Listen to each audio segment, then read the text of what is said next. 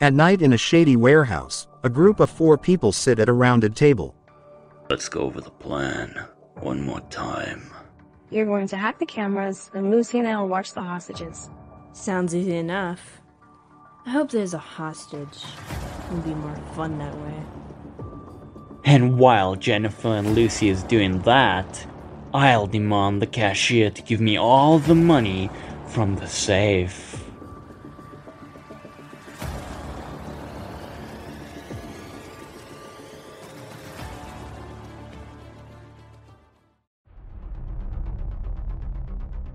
Outside a gas station, Ricky taps on an iPad. The camera's offline. Let's head inside. He and three others equip black masks, then barges in the store brandishing guns. A cashier, police officer and a scared girl stare at the robbers. This is a robbery, so listen up. Oh, and I suggest none of y'all try to play hero, because you'll fail. The police officer holds a gun to the side of Ricky's head. LAPD, drop your weapons now! Ricky swiftly disarms the officer, then delivers several punches, hitting him into a rack.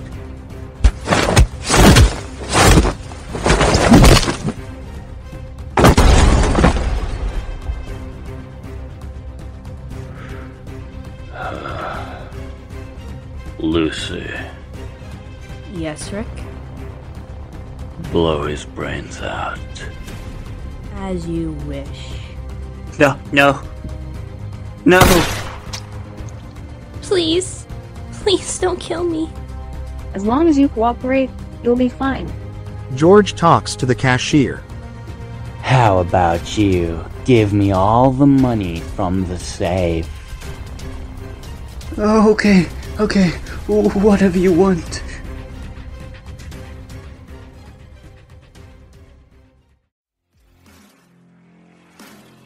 Ricky stands at the entrance of the warehouse holding a bag of money, while the other robbers sit at the table.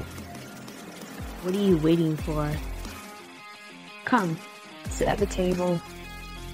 Yeah, we need to split up the money. Sorry, ladies. Four years ago, you guys killed my father in a robbery. So I set this whole thing up for payback. I'll see you three in hell.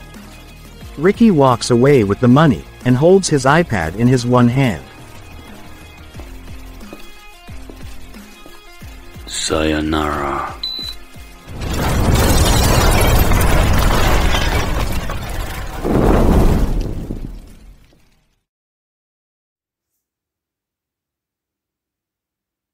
Credits created by, written by, and edited by Future Void. Voice actors Ricky, George, Police Officer, Cashier, voiced by Future Void, Lucy, Hostage, voiced by Underswap 44 sans, Tumblr Jennifer, voiced by marleise number 039, Discord marieiseva, Instagram